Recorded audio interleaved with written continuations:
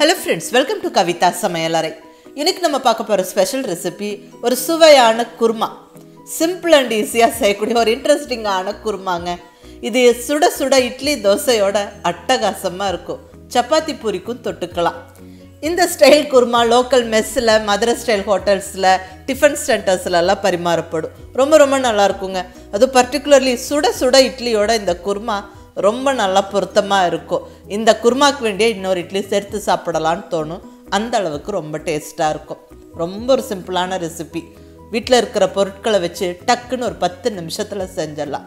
நல்ல வீடே மணக்கிற வாசனையோட ரொம்ப நல்லா இருக்கும். எல்லாருமே விரும்பி சாப்பிடுவாங்க. ஒரு தடவை செஞ்சீங்கன்னா கண்டிப்பாக திரும்ப திரும்ப செய்வீங்க. ரொம்ப ஒரு சிம்பிளான ரெசிபி. புதுசாக சமைக்க பழகிறவங்களும் ட்ரை பண்ணலாம். வாங்க ரெசிபி எப்படின்னு பார்க்கலாம். இங்கே ஸ்டவ்வில் ஒரு கடாய் வச்சாச்சு. கடாய் சூடானதுக்கப்புறம் ஒரு டேபிள் ஸ்பூன் அளவுக்கு ஆயில் சேர்த்துக்கிறேன். இந்த எண்ணெய் கொஞ்சம் சூடான உடனே இதில் ஒரு அஞ்சு பல் பூண்டு சேர்த்துக்கலாங்க. பூண்டு இங்கே கொஞ்சம் பெரிய பெரிய சைஸாக தான் இருக்குது அஞ்சு பல் சேர்த்துருக்குறேன். இது கூடவே ஒரு ஒன்றரை இன்ச்சு சைஸுக்கு இஞ்சி. நல்லா தோலெல்லாம் சீவிட்டு சின்ன சின்ன பீசஸை கட் பண்ணி போட்டாச்சு. நல்லா வதக்கிடுவோம் ஒரு ஃபியூ செகண்ட்ஸ் இந்த இஞ்சி பூண்டு நல்லா வதங்கட்டும். இப்போ கட் பண்ணி வச்சுருக்கிற வெங்காயத்தை சேர்த்துடலாங்க. கொஞ்சம் ரஃப்பாக பெரிய பெரிய பீசஸாக தான் ஸ்லைஸ் பண்ணியிருக்கிறேன். ஏன்னா இதெல்லாம் வந்து நம்ம வதக்கி அரைக்க போகிறோம் வெங்காயம் சேர்த்து நல்ல ஒரு நிமிஷம் வதக்கி விட்டுருங்க. நல்ல கலர் மாறுற வரைக்கும் வெங்காயம் நல்லா வதங்கணும். அப்போ தான் டேஸ்ட் நல்லாயிருக்கும் இப்போ இதில் மிளகாய் சேர்த்துக்கலாம். அஞ்சு பச்சை மிளகா சேர்த்துக்கிறேன். கொஞ்சம் பெரிய சைஸ் பச்சை மிளகா தான் இந்த குருமாவுக்கு நம்ம காரம் பார்த்திங்கன்னா பச்சை மிளகா காரம் மட்டும்தான். மிளகா பொடியெல்லாம் சேர்க்க போகிறது இல்லை. ஸோ நீங்கள் உங்களுடைய டேஸ்ட்டுக்கு தகுந்த மாதிரி மிளகாவை அட்ஜஸ்ட் பண்ணி சேர்த்துக்கோங்க. நல்லா வதங்கட்டும். இப்போ இதில் ஒரு ஃபுல் டீஸ்பூனுக்கு சோம்பு சேர்த்துக்கலாங்க.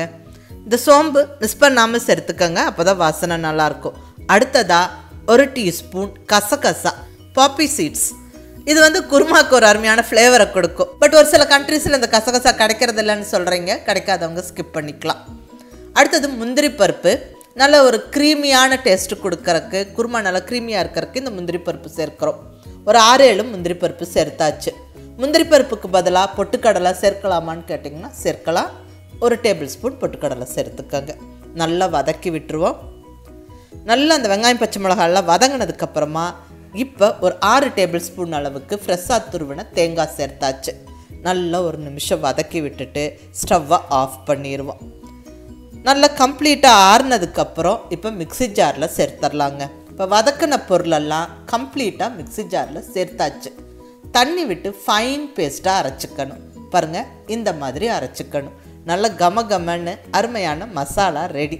இனி அடுத்தது நம்ம குருமா தாளிச்சிடலாம். இப்போ இங்கே ஸ்டவ்வில் அதே கடாய் வச்சாச்சுங்க. இதில் ஒரு ரெண்டு டேபிள் ஸ்பூன் அளவுக்கு ஆயில் சேர்த்துக்கலாம். இந்த ஆயில் கொஞ்சம் நல்லா சூடாகட்டும்.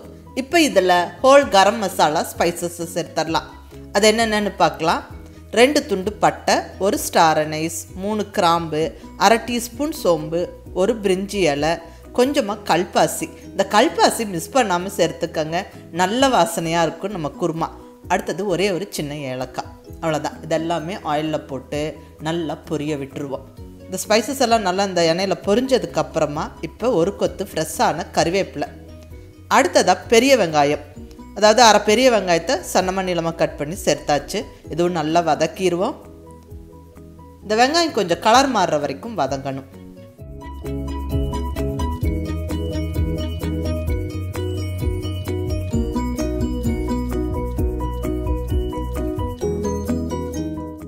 பாருங்கள் வெங்காயம் நல்லா வதங்கிருச்சு. இப்போ நம்ம தக்காளி சேர்த்துடலாம் ஒரு மூணு பெரிய தக்காளியை சின்ன சின்ன பீசஸாக கட் பண்ணி சேர்த்தாச்சு. நல்லா வதக்கி விடுவோம். இந்த தக்காளி மசிஞ்சு வெந்து வரணும். தக்காளி குயிக்காக மசிஞ்சு வெந்து வரக்கு நம்ம உப்பு மஞ்சள் தூள் சேர்த்துடலாம் இங்கே கொஞ்சம் உப்பு சேர்த்தாச்சு. கூடவே ஒரு ரெண்டு சிட்டிகை மஞ்சள் பொடியும் சேர்த்தாச்சு. நல்லா கலந்து விட்டுருவோம். கலந்து விட்டுட்டு நம்ம இந்த பாத்திரத்துக்கான மூடியை போட்டு மூடி ஸ்டவ்வை மீடியம் ஃப்ளேமில் வச்சுருவோம். ஒரு ரெண்டு மூணு நிமிஷத்துலேயே தக்காளி நல்லா மசிஞ்சு வந்துடும் ஒரு மூணு நிமிஷம் கழித்து ஓப்பன் பண்ணுறோம் பாருங்கள் தக்காளி நல்லா சாஃப்டானது தெரியுது. ஒரு நிமிஷம் இப்படி வதக்கி விட்டாவே தக்காளி நல்லா மசிஞ்சிரும். இந்த அளவுக்கு தக்காளி மசிஞ்சு வெந்திருக்கணும். இப்போ இந்த ஸ்டேஜில் நம்ம அரைச்சி ரெடியாக வச்சுருக்கிற மசாலாவை சேர்த்துடலாம் கம்ப்ளீட்டாக மசாலா சேர்த்தாச்சு. தேவையான அளவுக்கு தண்ணி விட்டுக்கலாங்க. இந்த மசாலாவில் நம்ம பச்சை மிளகாய் சேர்த்து அரைச்சிருக்கிறோம். நம்ம இதுக்கு போக காரத்துக்கு மிளகாய் பொடியெல்லாம் ஒன்றும் சேர்க்க போகிறது இல்லை. அந்த பச்சை மிளகாய் காரமே போதும். இந்த குருமாவுக்கு ஹைலைட்டு அந்த பச்சை மிளகாய் வதக்கி அரைக்கிறதா. டேஸ்ட் ரொம்ப நல்லாயிருக்கும் அதை நீங்கள் ட்ரை பண்ணி பாருங்கள் இப்போ ஃப்ரெஷ்ஷாக அரைச்ச மசாலாவை சேர்த்தாச்சு. அடுத்ததாக ஒரு டீஸ்பூன் அளவுக்கு மல்லிப்பொடி. இந்த மல்லிப்பொடி மிஸ் பண்ணாமல் சேர்த்துக்கோங்க. அந்த டேஸ்ட்டும் ஃப்ளேவரும் நல்லாயிருக்கும் மற்ற எந்த மசாலா பொடியும் இல்லை. அரைச்ச மசாலாவும் மல்லிப்பொடி மட்டும் சேர்த்தா போதும். நல்லா கலந்து விட்டுருவோம். இந்த குருமா கொதிக்க கொதிக்க நல்லா கெட்டிப்படுங்க. அதனால் நல்லா தேவையான அளவுக்கு தண்ணி விட்டுக்கணும். கொஞ்சம் லூஸாக இருக்கும்போது குருமா ரொம்ப நல்லாயிருக்கும் நான் இங்கே ரெண்டு டம்ளருக்கு மேலே தண்ணி சேர்த்தாச்சு. நல்லா கலந்து விட்டுட்டு இப்போ ஒரு கைப்பிடி பொடியாக நறுக்குன்னு கொத்தமல்லி இலையை போட்டு விட்டுறலாம். நல்லா கலந்து விட்டுருவோம். ஸ்டேஜில் உப்பெல்லாம் செக் பண்ணிக்கோங்க. தேவைப்பட்ட உப்பு சேர்த்துக்கோங்க. நான் இங்கே உப்பு சேர்த்துக்கிறேன். தக்காளி வதக்கும் போது உப்பு சேர்த்துருந்தோம். அது ஞாபகம் வச்சுட்டு சேர்த்துக்கோங்க. நல்லா கலந்து விட்டாச்சு. பெகைன் இந்த பாத்திரத்துக்கான மூடியை போட்டு விட்டுருவோம். நல்லா ஒரு ரெண்டு மூணு நிமிஷம் கொதிச்சு வரட்டும். இப்போ மூணு நிமிஷம் கழித்து ஓப்பன் பண்ணுறோம் வாவ் நல்ல கம கமன்னு வாசனையோட குருமா ஜம்முன்னு ரெடி ஆயிடுச்சுங்க. ஃபைனலாக கொஞ்சமாக கொத்தமல்லி இலையை போட்டு விட்டு ஸ்டவ்வை ஆஃப் பண்ணிடலாம் அவ்வளோதாங்க சுவையான இட்லி குருமா ஜம்முன்னு ரெடி ஆயிருச்சு. இது ரொம்ப நல்ல டேஸ்ட்டாக இருக்கும். ஒரு தடவை செஞ்சிங்கன்னா கண்டிப்பாக திரும்ப திரும்ப செய்வீங்க. வீட்டில் இருக்கிற பொருட்களை வச்சு டக்குன்னு ஒரு பத்தே நிமிஷத்தில் இந்த குருமா செஞ்சிடலாங்க நல்ல சுட சுட இட்லிக்கு ரொம்ப நல்ல பொருத்தமாக இருக்கும். நான் இன்னைக்கு வரகு அரிசி சேர்த்து அரைச்ச இட்லி மாவில் நல்ல பஞ்சு போல் சாஃப்டான இட்லி செஞ்சு வச்சுருக்கிறேன். அதுக்கு இந்த குருமா வந்து நல்ல பொருத்தமாக இருக்கும். வரகு அரிசி இட்லியோட ரெசிபி ஆல்ரெடி அப்லோட் பண்ணிவிட்டேன் கீழே டிஸ்கிரிப்ஷனில் லிங்க் இருக்குது வேணுங்கிறவங்க பார்த்துக்கோங்க. இப்போ நல்ல சூடான இட்லி மேலே சுட சுட இந்த குருமாவும் ஊற்றி விட்டு நான் எடுத்து சாப்பிட்டா ஆஹா அட்டகாசமாக இருக்குங்க. இந்த குருமாக்கு வேண்டிய இன்னொரு இட்லி சேர்த்து சாப்பிட்லான்னு தோணும். உங்கள் வீட்டில் எல்லாரும் விரும்பி சாப்பிடுவாங்க. பாராட்டு நிச்சயம். இது இட்லிக்கு மட்டும் இல்லைங்க. தோசைக்கும் ரொம்ப நல்லாயிருக்கும் சப்பாத்தி பூரிக்கும் தொட்டுக்கலாம். ரொம்ப ஒரு சிம்பிளான ரெசிபி டக்குன்னு செஞ்சிடலாம்.